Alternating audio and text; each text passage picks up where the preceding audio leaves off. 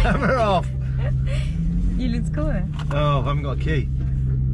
Ugh. Have you got one? No.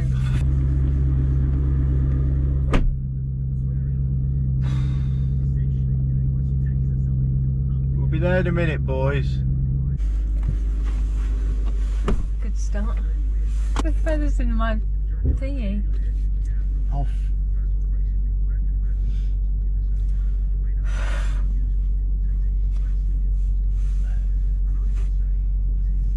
This has actually got proper feathers in it. What has? My it's a goose feather jacket, babe.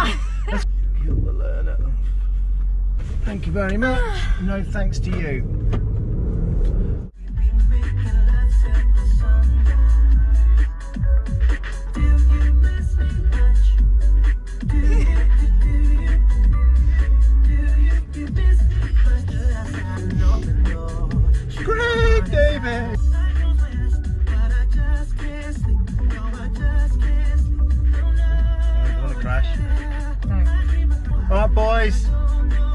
Bit of Craig David, doesn't it?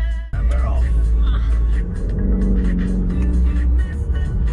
Oh, God, the red's on. Boris Johnson has been Oh, on his feet addressing boring. Conservative in Manchester. This is what's happened. Everyone thought he's going to lay out the deal I thought that was they're was going gonna do. offer the EU Yeah. and say exactly how it would work. Yeah, In that's what you said you were gonna do. is it- their way on the Eurostar to Brussels as we speak.